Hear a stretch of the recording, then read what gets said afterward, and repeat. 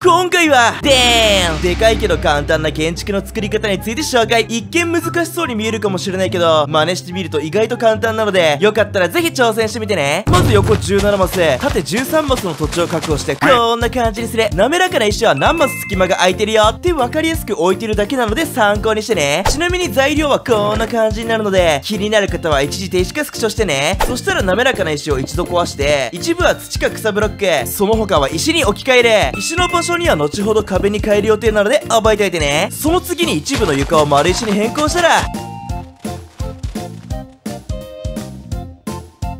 原木を置いてる箇所に多くの原木を4段ずつ置いた後周りを横向きにキュイーン。それでこんな感じになってたら OK その後は頭皮の木材で2階の床を作ってね。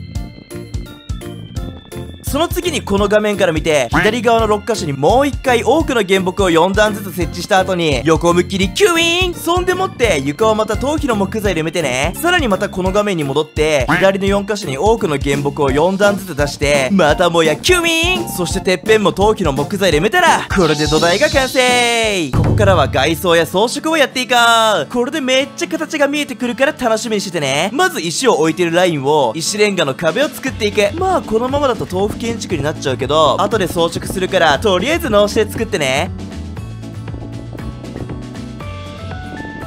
という感じでこんな感じになったら画面から見て右側の内側から2マス開けて樹皮を剥いだ原木を5つ上は4つ321という順に横向きに設置して木目に頭皮の柵をつけるあとは間に頭皮の階段を置くだけで。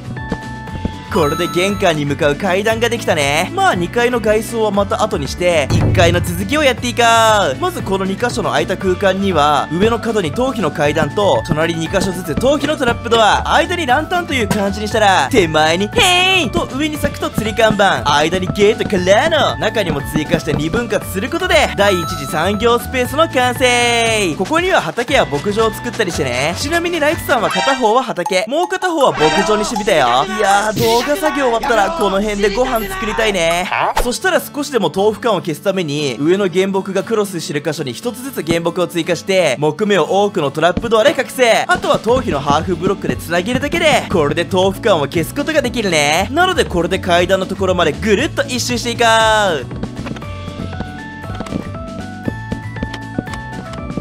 ここまでで十分いいんだけどまだ石レンガのところが豆腐感残ってるよね。窓とか作って形付けるのもありだけど今回は別のやり方でアプローチするよ。まず前と同じように原木の手前にヘイ!からの上に柵を2つずつ。あとは間に開花したツツジの葉と手前に看板をつけて線引きすることで窓なしでもいいデザインになる。これを外側にまんべんなくコピペしていこ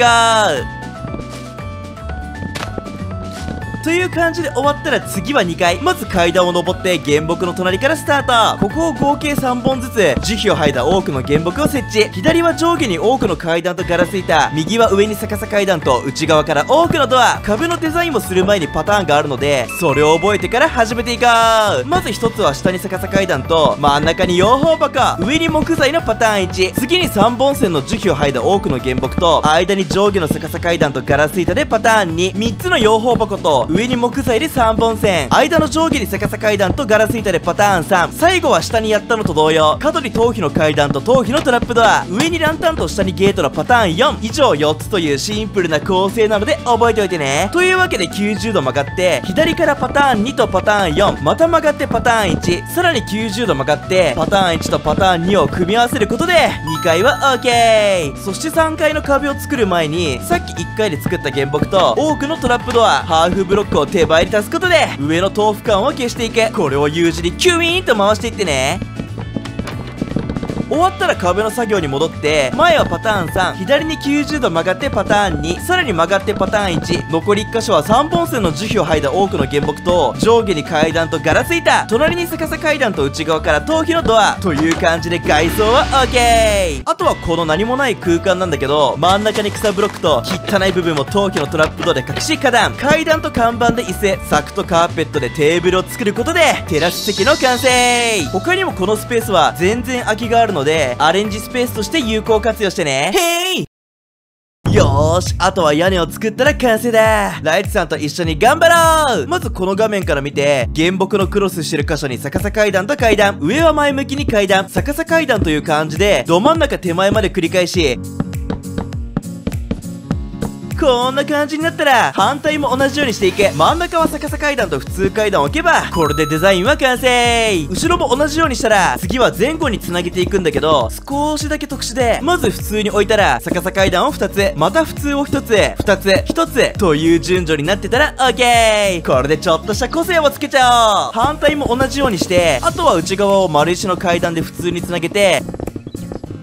てっぺんのみ丸石を置いた後、上に石レンガの階段で、後ろから前に向けて足していけば、家の屋根 OK! ただこのままだと、せっかく大きい建築したのに、なんかしょっぽいよね。なのでここからは、テラスとかに屋根を足していくことで、大きく見せていこうまず2階のテラス席に移動して、上から見て木目が見えてるところに樽を3つ、からの隣と、原木に頭皮の柵を設置。それ以外は頭皮のゲートで囲ってね。そして樽の上に、へーいからの柵。そして横13マス、縦6マスの火を消した焚き火を設置することで、テラス席の屋根 OK! 次に原木は同じように垂ると、隣に咲くと原木側はゲート。あとは焚き火を含めて、同じ要領で設置することで、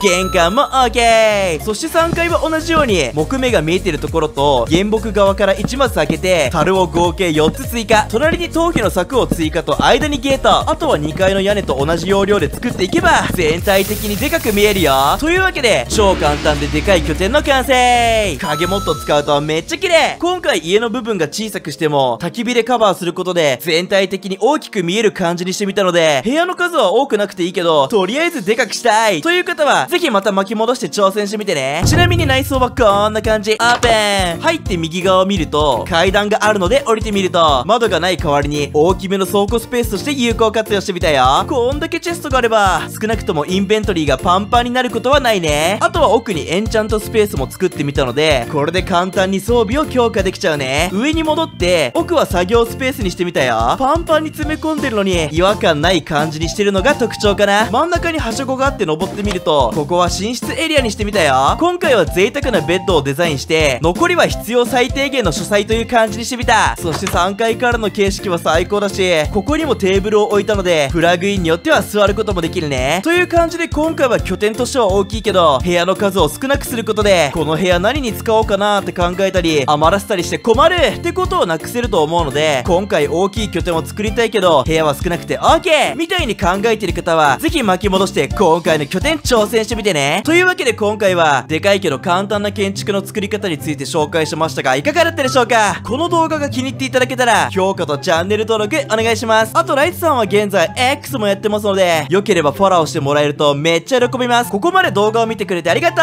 う次回の解説動画でお会いしましょう